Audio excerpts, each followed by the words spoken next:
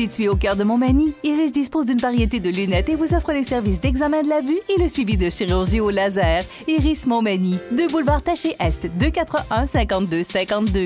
Iris Montmagny, faites l'expérience d'une meilleure vision maintenant. Alors, euh, mon invité, on l'a gardé pour on, l'a gardé pour le dessert. Mario Lacombe du réseau FM Country, également collègue et collaborateur à l'occasion pour CMA TV. Bonjour Mario. Bonjour Michel. Mario, euh, tu as été et tu as assisté toute la fin de semaine euh, à la quatrième édition du Festival Country Western Montmagny. Un beau succès? Un beau succès. je pense que l'idée de déménager le tout à l'Expodrome Boulay, c'était une excellente idée. tu étais là dimanche pour assister à la messe. Tu as vu juste pour la messe. Habituellement, on a un peu moins de monde pour la messe, mais c'était plein. Donc, euh, euh, sans se tromper, peut-être une, augmentation au moins 25 par rapport à l'année passée. OK.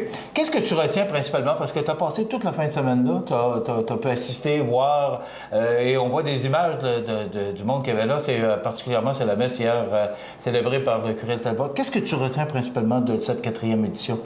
Bien, à part le, nombre croissant de, personnes qui assistent euh, euh, d'année en année depuis son début, on, peut remarquer aussi la qualité des artistes qui étaient là. Euh, les, artistes sont à chaque année, sont fidèles, il y en a qui reviennent, il y en a des nouveaux, les gens les apprécient et les artistes restent pendant le temps du festival. Ça, c'est particulier peut-être au festival de Montmagny qu'un artiste donne une prestation un jeudi soir et reste jusqu'au dimanche, se mêle à la population. Euh, c'est ça qui fait que le festival de Mont Country Western de Montmagny est de, plus en plus euh, apprécié pas rien que par les gens de l'extérieur, il y avait, il y avait des gens de Montmagny, il y avait des gens des alentours. Et euh, c'est la, proximité qui entre les artistes, qui entre aussi les, la, présidente Lynn Lamar et Cathy Lavigne. Euh, Lynn Lamar, là, euh, dimanche, était à la porte pour saluer les gens, remercier les gens on entretient une, espèce de, proximité avec le public, fait que les gens aiment ça.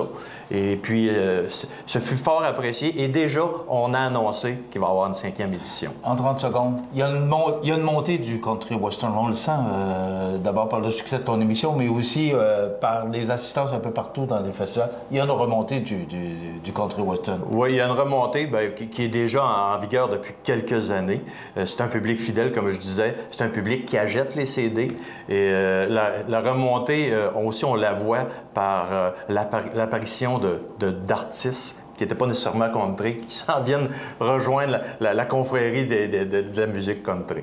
Rio Lacombe, merci beaucoup d'avoir été avec nous. Puis malheureusement, on est un peu serré dans le temps, mais merci d'avoir été là. Merci pour toutes ces images que tu nous as apportées. Ça nous a fait plaisir, Michel. Oui, et bien, bravo à Aline et à Cathy. Voilà, ça complète notre émission d'aujourd'hui. Je vous invite à être des nôtres demain, même à même poste. Bonne journée, mesdames, messieurs.